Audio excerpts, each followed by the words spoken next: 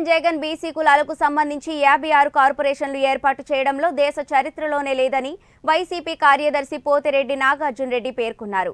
కడప జిల్లా పోరుమామిళ్ళ పట్టణంలోని వైసీపీ నాయకులు కార్యకర్తలు వైఎస్ఆర్ విగ్రహాలకు పాలాభిషేకం చేసి పూలమాలతో నివాళులర్పించారు. అనంతరం వైసీపీ రాష్ట్ర కార్యదర్శి పోతిరెడ్డి నాగార్జున రెడ్డి మాట్లాడుతూ రాష్ట్ర ముఖ్యమంత్రి వైఎస్ జగన్మోహన్ రెడ్డి పాదయాత్రలో ప్రజలకు ఇచ్చిన హామీల ప్రకారం ప్రతి ఒక్క సామాజిక వర్గాల కులాల వారికి మాట తప్పకుండా సంవత్సరం తిరగకుండానే హామీలను నెరవేర్చారని ఆయన చెప్పారు.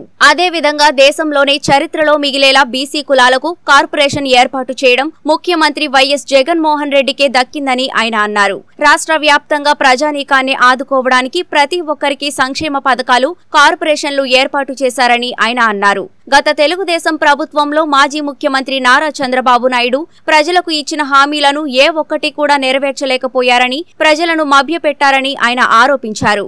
ఈ కార్యక్రమంలో పోరుమామిళ్ళ వైసీపీ నాయకులు మాజీ మండల అధ్యక్షులు చిత్తా విజయ ప్రతాప్ రెడ్డి రవి ప్రకాష్ రెడ్డి సి భాష అల్లా నారాయణ రెడ్డి నరసింహులు కార్యకర్తలు పాల్గొన్నారు. అందరికీ నమస్కారం. రెండు వేల పంతొమ్మిది ఎలక్షన్లకు ముందు జగన్మోహన్ రెడ్డి గారు పాదయాత్రలో ఇచ్చినటువంటి ప్రతి ఒక్క హామీని ఒక్క సంవత్సరంలోనే పూర్తి చేసినటువంటి ఘనత ఒక్క మన వైఎస్ జగన్మోహన్ రెడ్డి గారికే దక్కుతుందని చెప్పి తెలియజేస్తున్నాం. ఈరోజు బీసీలకు సంబంధించి యాభై ఆరు కార్పొరేషన్లను ఈరోజు బీసీలన్నీ వివిధ జాతులకు వివిధ కులాలకు సంబంధించిన వారికి ప్రాధాన్యత ఇస్తూ ఇచ్చినటువంటి ఘనత దేశ చరిత్రలోనే ఇంతమందిని కార్పొరేషన్ల చైర్మన్గా నియమించడం మొట్టమొదటిసారి. అది ఒక ఆంధ్రప్రదేశ్కే అది ఒక జగన్మోహన్ రెడ్డి గారికే దక్కుతుందని చెప్పేసి నేను తెలియజేసుకుంటున్నా. ఈ రోజు చంద్రబాబు నాయుడు గారు కోర్టులను అడ్డం పెట్టుకొని ప్రజలు తిరస్కరించిన తర్వాత కూడా కోర్టుల సహాయంతో మరి ఆయన ఈ ప్రభుత్వాన్ని ఇబ్బందులు పాలు చేస్తున్నాడు.